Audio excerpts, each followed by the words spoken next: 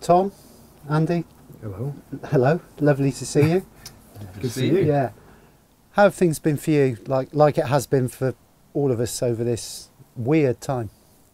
Go on, mate. You go first. Um, well, it's been a bit, bit Groundhog Day, hasn't it, for all of us? Um, I moved out here, followed Tom to the um, beautiful Gloucestershire countryside. So I guess not all bad. You know? Yeah. And for you? Tom? Yeah, I mean, it's been um, uh, a slog at times, um, then also wonderful at other times. Lots of family time, lots of dog walking. Um, uh, yeah, I mean, we moved out here Christmas before last, so before this happened. Um, that was after Andy and I had made the record. The record was also made before then, so you know, it, it- both things weren't expecting such events to unfold. So to want to release music in this environment has been strange. Uh, in some some ways nice, some ways really frustrating. But also just to have a new way of life, a new place to live, and all the things you want to do when you're somewhere new. Um, that's been stunted as well by by what's been going on. So um, yeah, conflicting emotions about the whole thing really. And how do you guys feel now about we're gradually easing our way out of lockdown and almost going back to a new normal? We we spoke off camera about it was going to be really bizarre to even shake somebody's hand, isn't it? So we did elbows today, but are you ready to embrace that, or do you think I'm there's never going to shake anyone's hand ever again. I never liked doing it in the first place. Yeah. Whereas I'm a bit of a handshaker, and I've got to shake that, got to shake that off. Um, yeah, I guess yeah. There's there's going to be things that's going to feel weird about you know olden times. Um, I, I guess a bit of handshaking will have gone. There might be a bit more mask wearing, but I mean, of course, it feels good. Touch wood that um, you know we might be able to see each other a bit and. I mean, go to the pub, that'd be nice. Um, go to a show. But it's also weird because now it's been, you know, a year and more than a year for the rest of the world. Um, there's, there's an element of, of being slightly nervous about any good news, mm-hmm. isn't there? So you yeah, sort of every step is a bit like, oh, God. But I mean, no, I mean, it feels, it feels great that we're potentially going to be allowed to do a little bit more because it's been tough. It's been tough for everybody. It's, it's, um, yeah, and, and I don't think any of us ever imagined in a million years we'd be living through something like this. So, mm.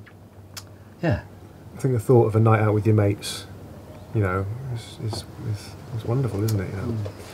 And to hug your mates, maybe, you know, be lovely.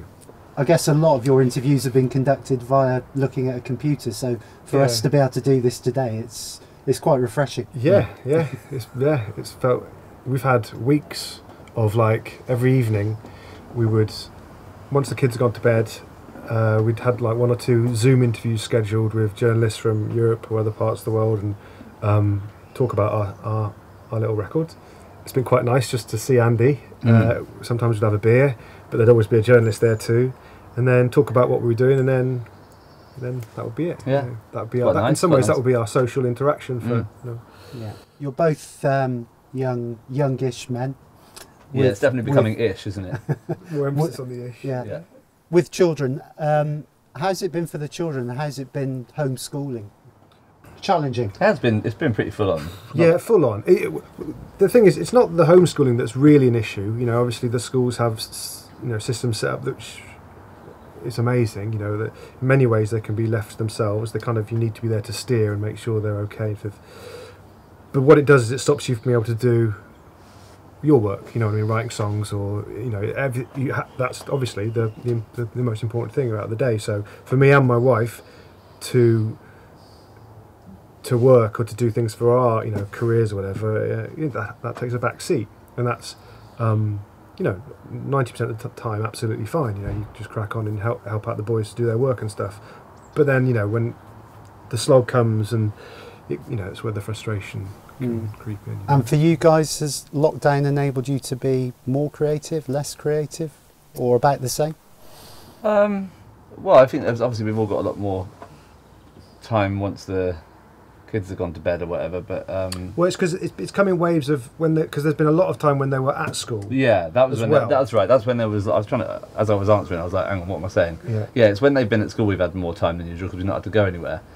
I don't know. I mean, Tom. I know Tom's been well. In, well he, he'll tell you he's been doing a lot of work in the studio. I've definitely written lots and lots and lots of songs, but um, whether I've been more or less creative, I don't know.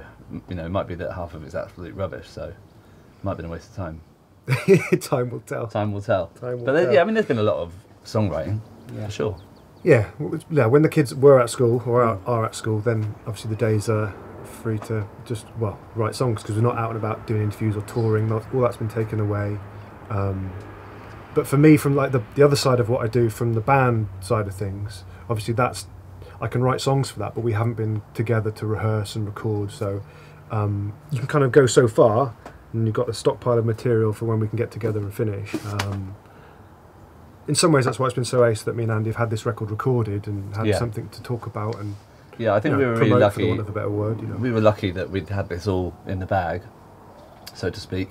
I mean, doing promo in the world of virtual media has been odd, but um, it was great that we got to go to Nashville and record this and do it long before we knew any of this was going to be a thing. Yeah. Tell me, tell me a bit more about Smith and Burrows is good enough, and also, how did you come up with the name? I know it might sound a silly question. No, because it's we're both fine. Smith and when's Burrows? oh yeah. Uh, did we ever think about having a different name? No, not really. Well, we came up with like endless. No, I mean for Smith and Burrows. No, I remember being sat in um, that place in. Did we ever Belsize consider Park. Burrows and Smith? No, you told me it was Smith and Burrows. and I was like, right, I guess, I guess it's Smith and Burrows. Um, Shay, Shez, do you remember on in Belsize? We were in Shez something. Uh, Shez Bob. Shay Bob. Shay yeah, Bob. yeah, yeah. And you just said, well, it's Smith and Burrows, isn't it? I was like, well, I guess so. And that was it. Yeah. We made it. Yeah, we made like a wintry, Christmassy record ten years ago. Um, obviously, we're, were close friends before then, and continued to. Funny looking angels. Yeah, Yeah. the Funny Looking Angels. So that was the beginning of our musical relationship. Um, since then, we'd always talked about you know following that up. We both do other things as well, and um, finding the time wasn't easy. But you know when we did have time and it felt right, the song started to materialise, and I think it was about seven years ago really that they started to pile up a bit, bit more. And then yeah, we ended up in Nashville recording the, the record. Yeah, it's, it's got a nice fit to it, hasn't it? The name Smith and Burrows.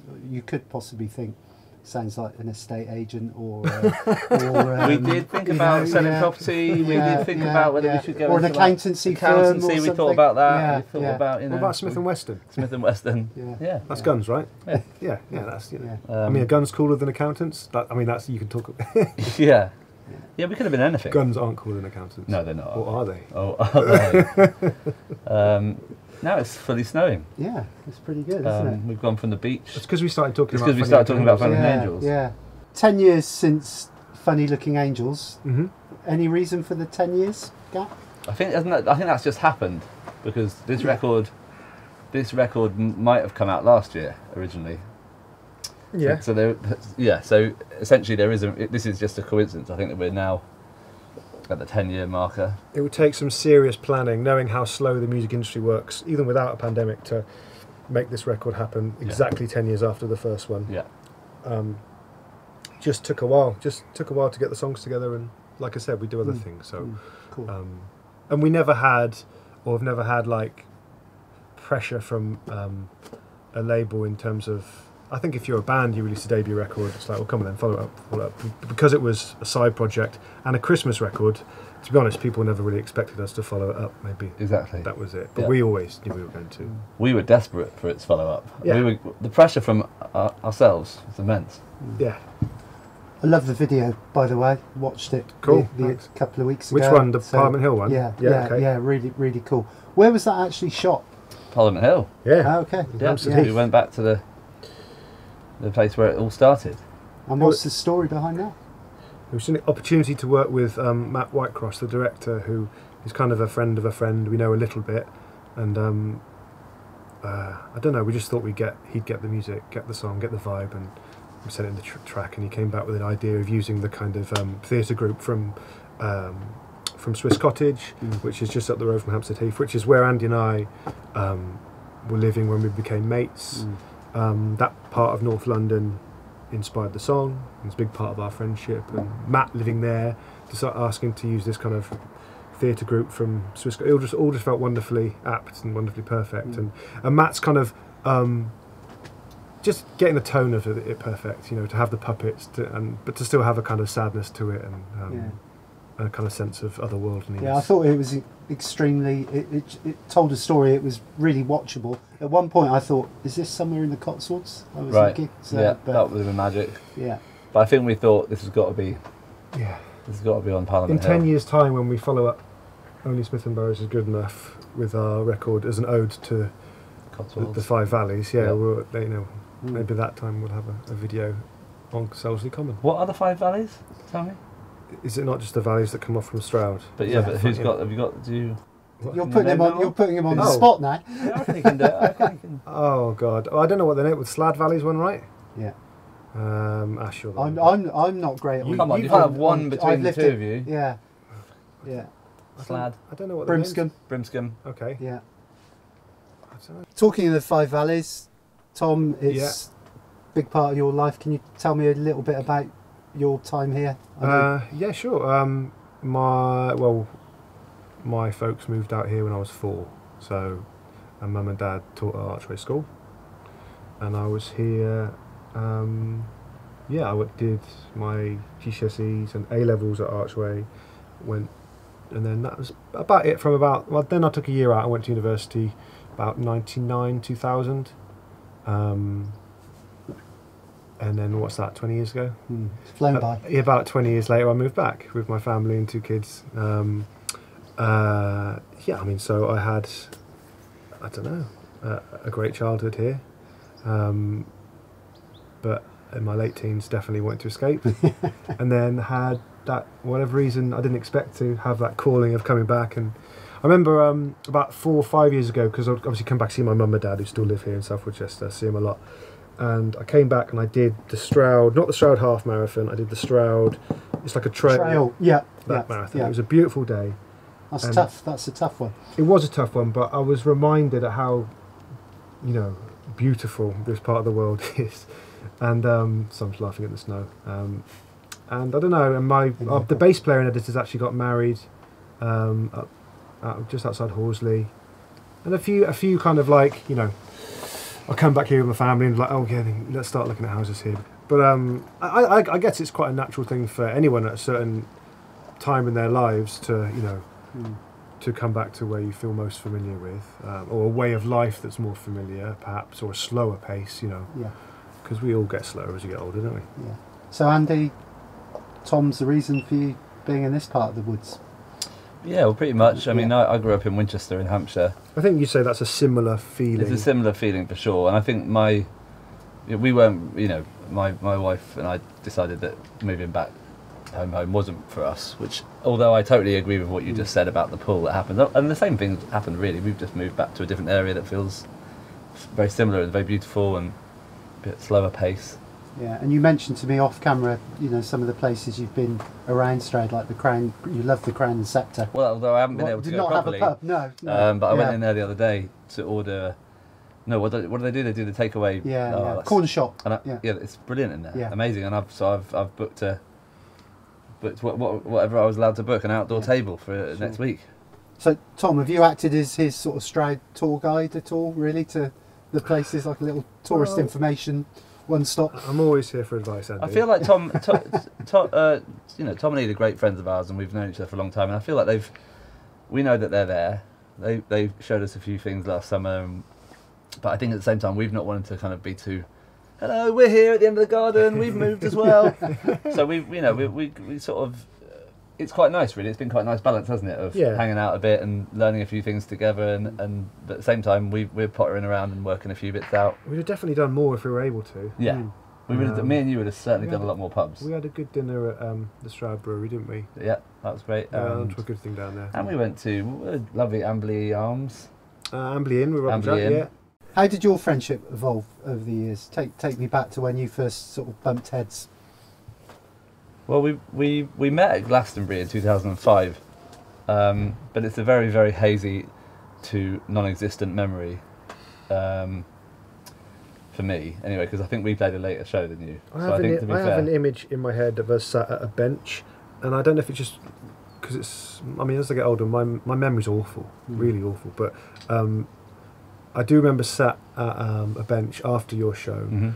Because I remember Johnny was really excited, Right. bu- buzzing around doing his Yeah. Johnny thing, and I was just in. They just headlined the second stage, and we played earlier in the day, and and you knew my then girlfriend, now wife, and we were just chatting. But I do remember, but I think that's because there's a few photos, not of us together, but of that Of that night, of that bench. At that time, very exciting time, Editor's First Glastonbury, Glastonbury Festival that I'd gone to since '97 as um, I don't know the place where I realised what I wanted to do. You know what I mean? It's an important place to me for Mm. me. Um, so yeah, that's where we first bumped Bumped into each other. Yeah, And then we just started. I mean, I guess we just because we're both on the same circuit for a while Mm.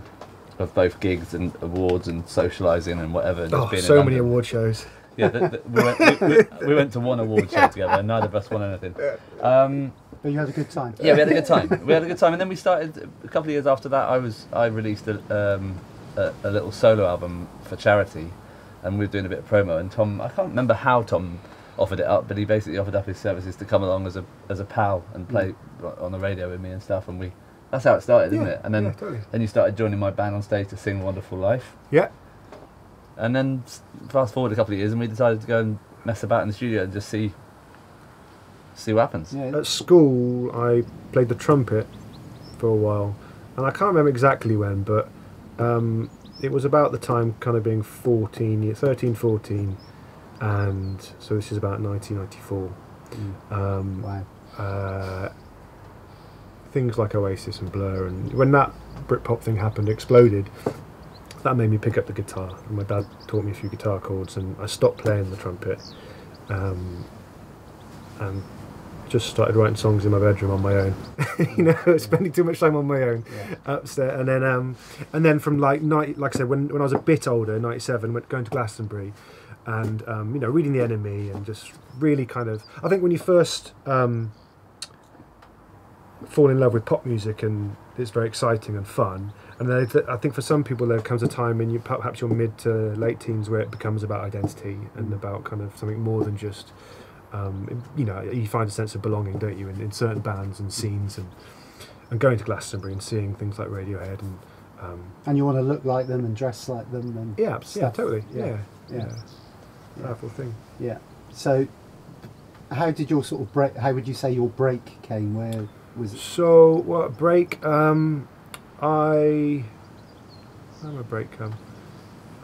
I bet I, I played with a few people around Stroud and kind of A level time.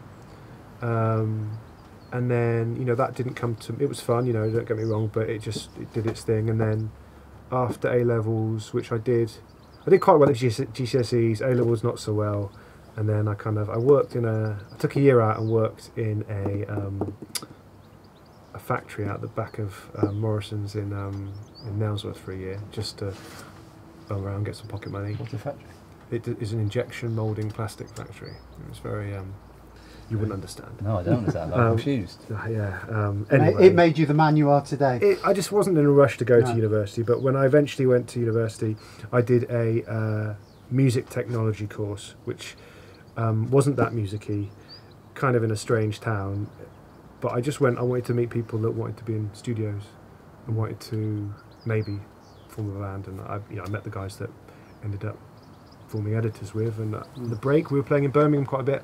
Met some people there, who also now live in Stroud, who managed the band. wow. Um, uh, and uh, yeah, so the big break, break was meeting them, and I guess writing things like Bullets back Mm. uh, back in that time. Yeah. And Andy, for you, with how did Razorlight begin for you? Well, I actually auditioned for Razorlight. Yeah. I sort of I was A level in bands, A level time in bands, and I spent the next and I didn't go to university. I just spent the next seven years being in bands and to absolutely zero success, nothing, not even a sniff of a record deal. And then I was just about to give it up, age What were you gonna do? 23. I don't know, be miserable. I don't know. I don't know what I was going to do actually, but I had made my peace. I remember that. I remember clearly being like, you know what? I don't think this. Maybe this doesn't happen for mere mortals. Because I had given, you know, I'd, I'd given it since. I mean, I got really stuck into the bands early on, but then Razorlight drummer left right at the start of their journey, so I just. And I had never done an audition like that. I never answered anything in the paper before. Was it just in the paper? Well, I no, actually, it's better than that. I went and recorded some drums for the Lemonheads producer Julian Standen, and he was like, "I can't pay you any money." And I was like, "Oh, wicked." have my drums back. Yeah, okay. On the, and, and he said, um, "But I'll, I'll email all my industry contacts," which I thought sounded a bit like whatever. But by the time I dr- drove down the M3 and got home, I had an email in my old Hotmail, Andy Burrows 3006 at hotmail.com, saying, um, you know, uh, th- this band Razorlight, if you go and check them out, you'll probably find them everywhere. That, um, the lawyers just emailed me saying, yeah, we could do with a drummer. So this email that he sent out saying, I know a drummer, Mm. worked. So I kind of got in through the back door, but then actually I had to spend the weekend doing auditions and stuff, and and then it just went absolutely nuts. So, So- not a similar path to Tom then. You Well, I think you it probably didn't was- work in an injection moulding factory. No, I didn't work in it. I worked in a pub. Yeah. That was my job. But I, did, I suppose it was quite similar, really, in terms of bands. It just so happens that the one I formed uh, as a as a young and did wasn't the one that you know never happened for us. Mm. So I ended up joining a band that were already on the ascent. Yeah. Talk about our sort of formative years uh, growing up and admiring bands and possibly trying to be Yeah. like that pers- person in the band. How pivotal for both of you guys was um, some of the music shows back in the day? Top of the Pops is one that comes to mind for, for my my era. How Yeah. buzzy and lively that was. Yeah, massively. Top of the Pops was incredible for, for all of us, I think, Yeah. Even gets we even sing about it in one of the songs on.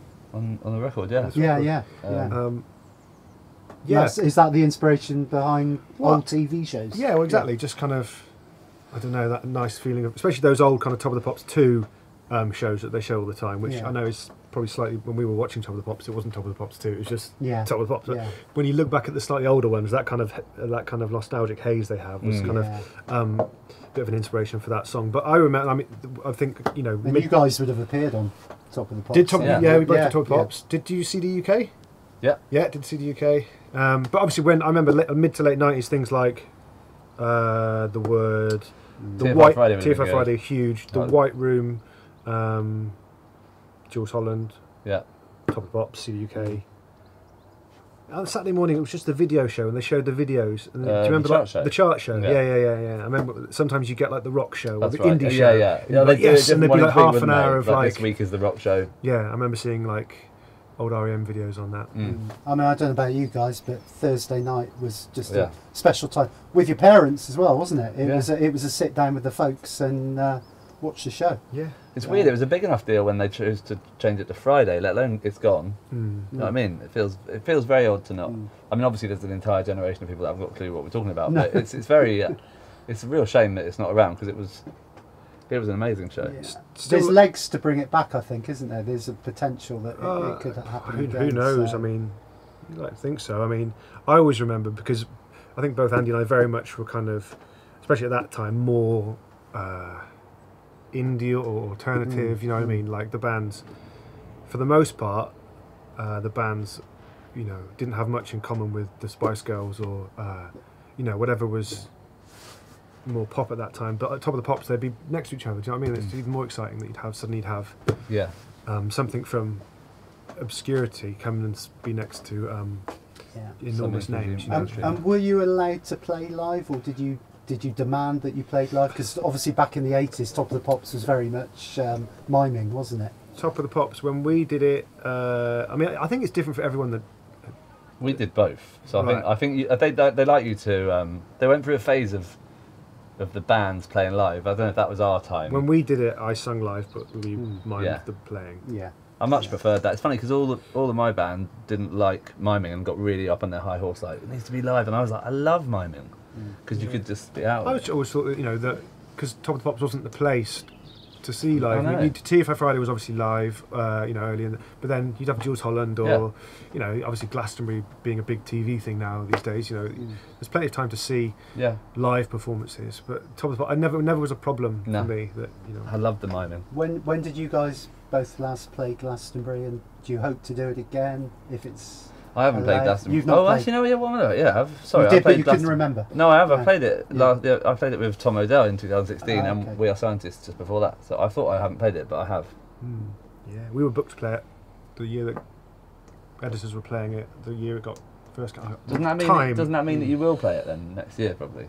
Uh, There are there will be discussion. maybe Right, don't know maybe, maybe not I don't know. Um, so yeah, we were playing the other the uh, the John Peel stage um, the year that COVID took Mm. away our summer. Mm. So and the time before that, yeah, I mean it was about the same time as I think it might have been. We might have played it when you played with scientists. thinking Yeah, about it. you did. Yeah, we were. Yeah, I've been so lucky. Yeah, been so lucky to have. I don't know. Maybe played like eight times over the years. Maybe. Wow. Yeah. Yeah. And, and what is it like to perform in front of that many people? Uh, it's. Um, What goes through your mind when you're I mean, in front of a crowd that vast? Yeah, I mean, the first couple of times, um, I mean, you can branch the question out slightly to just playing, I guess, kind of festivals because, you know, that we editors have played a lot of European festivals and we would normally play one or two a weekend from, you know, May to September and have done for the last 15 years of my life, really, pretty much until they got taken away. So there are so many to play. So that, that, that feeling of getting in front of a big crowd took a long time to get used to and to feel confident. And um, it wasn't until we were on our third record that I really felt, you know, that was a place where I could actually be not myself, but just relax.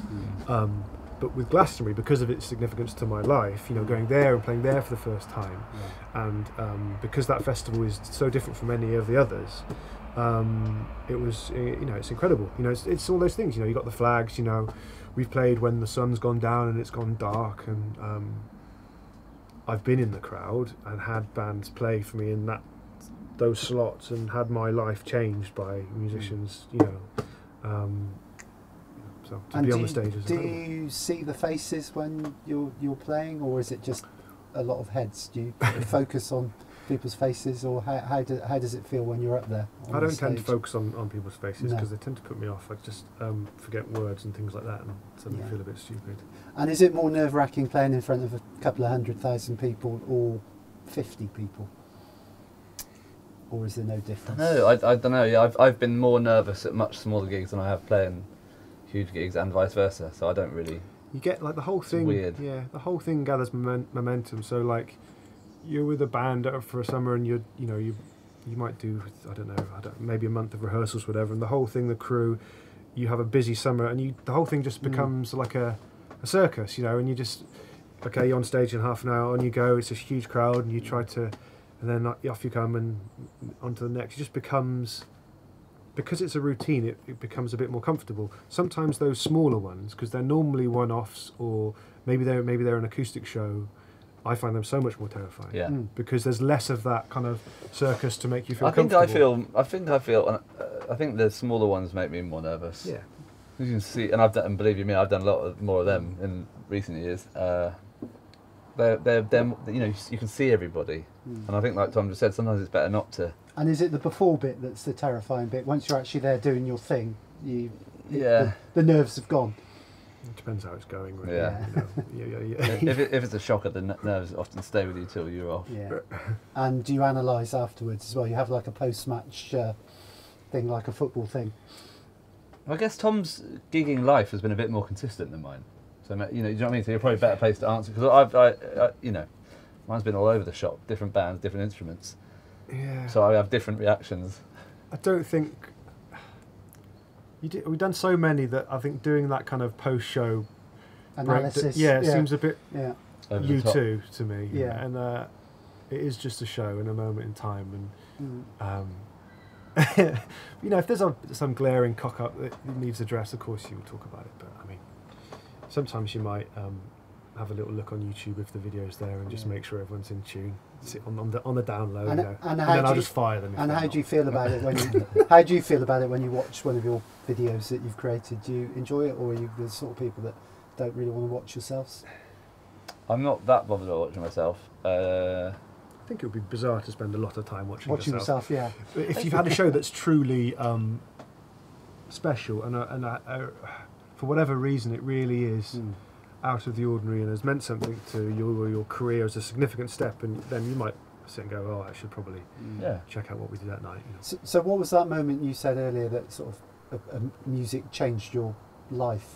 Well, watching bands, uh, um, you know, uh, that time of like kind of 1997, Mm. um, 98, the Glastonbury Festival, going to gigs at the Guild Guildhall, at the Leisure Centre in Gloucester, Yeah. um, just falling in love with that whole culture and the power of music and live music and um, you know Glastonbury in particular was a very special place and seeing Radiohead there in '97 was one that always jumps to mind and I remember seeing REM not long after there there as well and um, you know those bands are very important to me. Yeah, how about you, Andy?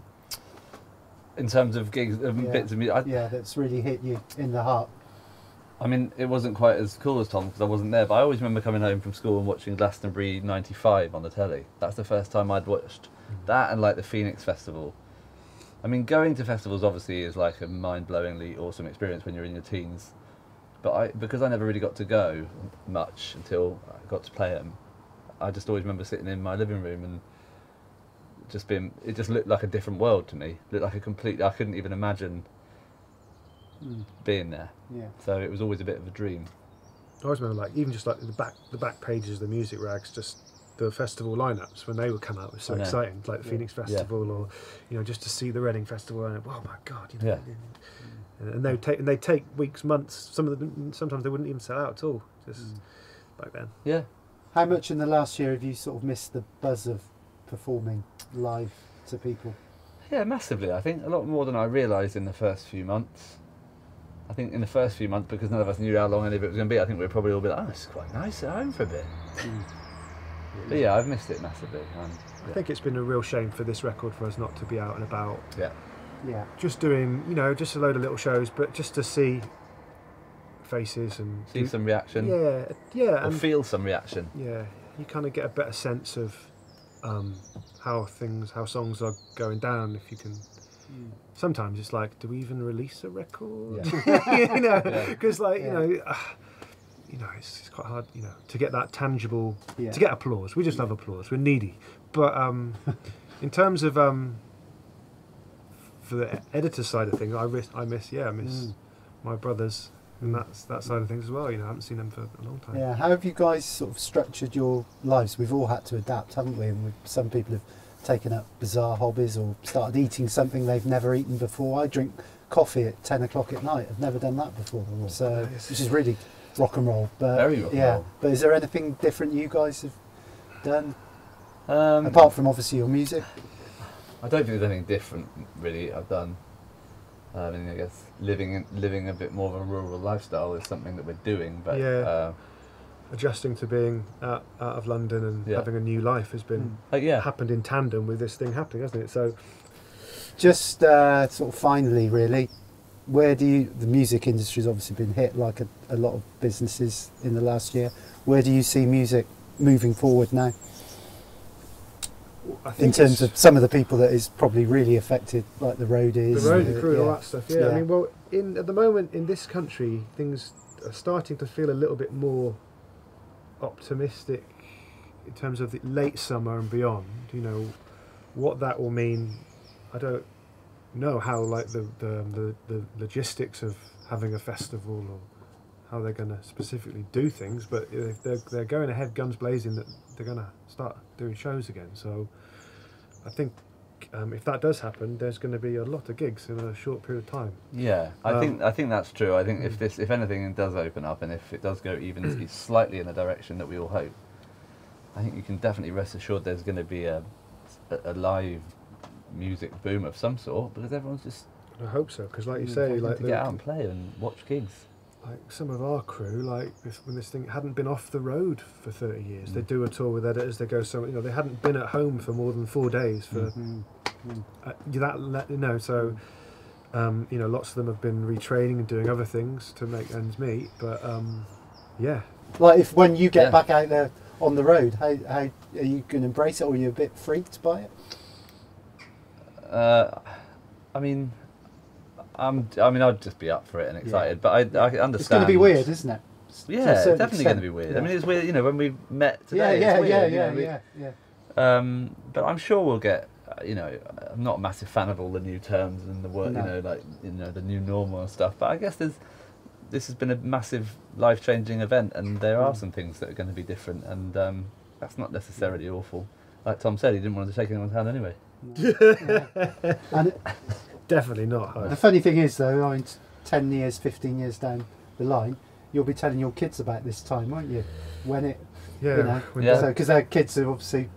Would you say they're pretty much oblivious to it, or do you think they they- get a little bit of a vibe from it? I know definitely Yeah. get a vibe from it. I, mean, I think the, the, Tom and I have both got kids of similar ages, or at least the the older two are, and Mm. I think that it must have really sucked for them and all the kids, you know, the teenagers and all that. Um, the little, our, our little one, we've got one that's five, and she's, I think she's had a great time getting all this attention, Mm. and we've tried to make it quite fun.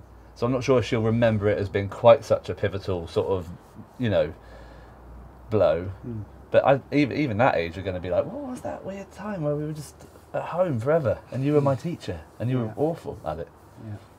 Oh, I think I think I was rubbish. I made a good um, robot out of toilet roll, but apart from that, I'm going to do one more finally. I want to talk about football.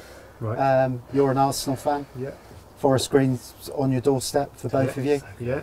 You've I want to go there. So you've bad. not had a chance to go, I guess, guys. No. Oh, I No. thought- have you been? I thought you no, might no, have been. No, no, no. yeah. not had a chance. Really would love to being go there. I do Uh, just drive past it, and obviously wicked. in the time that I was out of Stroud, Mm. in you know Forest Green is It's it was always a thing. club. It was a Yeah. small club, you know, Yeah. but it's obviously become this um, much more than the club, and I'm very aware of their um, ethos and read everything that's going on with great interest. I think it's wonderful. Obviously, Hector Bellerin is um, invested in his obviously Arsenal right back at the moment, and uh, yeah, it, I'm I'm very intrigued to get down there and, and, and watch a game. Yeah, are they a club that you keep an eye on the results Yeah, as yeah, well now? yeah, yeah, yeah, yeah, yeah. So uh, I mean, I know their ascension has, has been fairly rapid over the Mm. last, you know, five six years or whatever. So and the ethos as well probably is interesting for you Of the guys club? as well. Yeah, yeah, well, it's, yeah, it's yeah. brilliant. What it- I mean, Yeah. I feel like he had a, it's a large reason for the sort of the Stroud.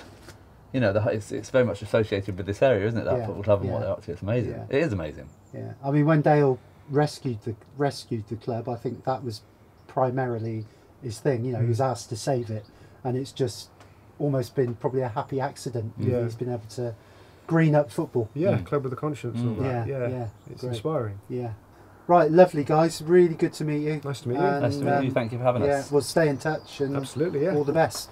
Thank you. Cheers, mate. Cheers.